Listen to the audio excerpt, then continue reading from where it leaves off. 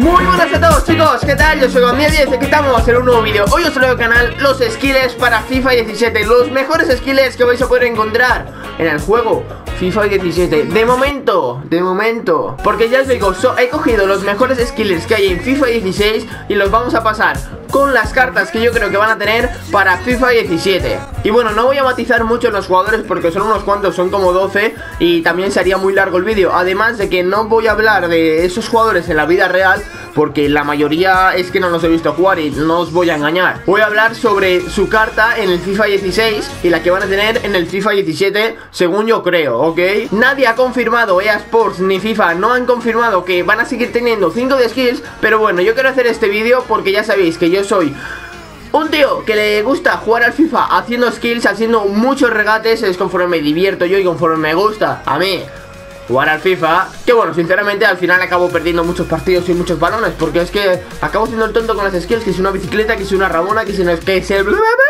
Y que no hagáis skills si no sabéis como yo O sea, que yo sé hacer pero sé hacer las más, no en el mismo momento Vamos con el vídeo. En la primera posición tenemos a Cristiano Ronaldo. Como de costumbre, el portugués va a seguir teniendo 5 de skills seguro. Este ya os digo, que seguro que los va a seguir teniendo. Un jugador muy fuerte, el mejor extremo izquierdo que va a haber en la liga. Y la verdad que va a seguir siendo muy caro. Así que poquita gente va a poder disfrutar de este Cristiano A no ser que sea un futra. Segunda posición, seguimos en la liga. Extremo izquierdo brasileño, Neymar. Otro jugador muy habilidoso, muy ágil con el balón en los pies. Y la verdad que a mí en el FIFA 16 me encantó fue uno de mis extremos preferidos pero también hay que destacar que va a ser muy caro, además con media 90, que yo creo que es la que le van a poner, va a seguir siendo otro de los jugadores muy caros en la liga. Nos vamos ahora a la Bundesliga y tenemos a Ribery del Bayern de Múnich. Sinceramente yo no sé si Ribery es que haga muchos regates, muchas skills en la vida real, pero bueno, estaba en el FIFA 16 con 5 de skills y había que ponerle. Seguimos en la Bundesliga, seguimos en el Bayern de Múnich, nos vamos a la otra banda y tenemos a Douglas Costa, el brasileño. Este sí que lo he visto jugar un par de veces y la verdad que es que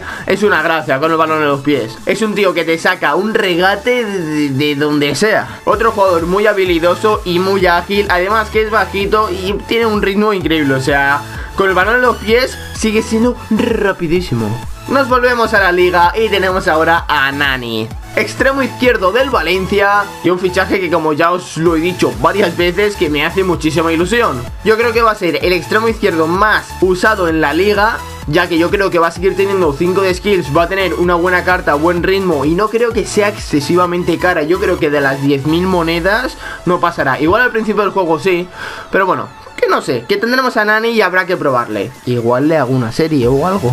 Nos vamos ahora por la carta de Cuadrado. Juan Cuadrado, el colombiano. Por cierto, un saludo a todos los colombianos. Una carta que yo creo que va a seguir estando muy chetada en este FIFA 17 porque ya lleva como dos años de FIFA estando muy chetada y me encanta esta carta de Juan Cuadrado. Y además con las 5 de skills, jugador increíble. Nos vamos a la Ligue 1, a Francia. Tenemos aquí a Ben Arfa, jugador del PSG.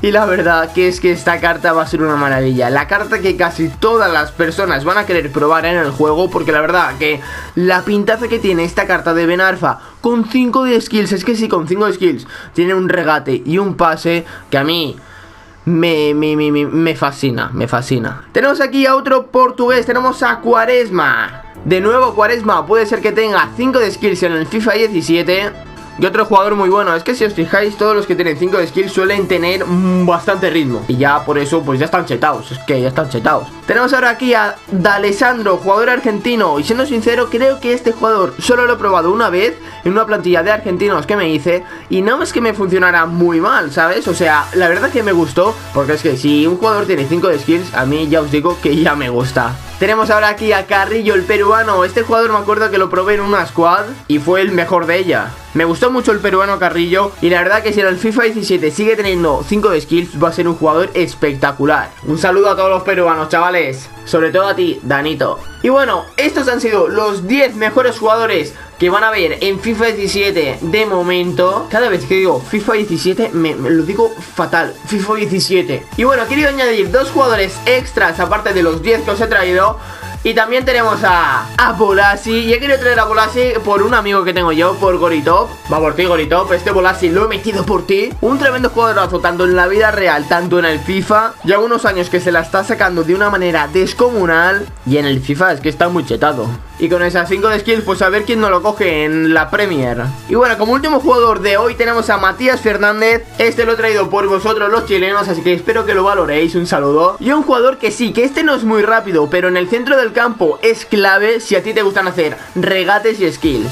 Así que si sigue teniendo 5 skills en el FIFA 17 va a ser uno de los mejores mediocentros para hacer regates, ya os digo. Y nada más chavales, hasta aquí el vídeo de hoy, espero que os haya gustado. Si queréis que haga otro vídeo de posibles, posibles skills para FIFA 17, me tenéis que dejar en los comentarios qué jugadores creéis vosotros que no tienen, pero deberían tener 5 de skills.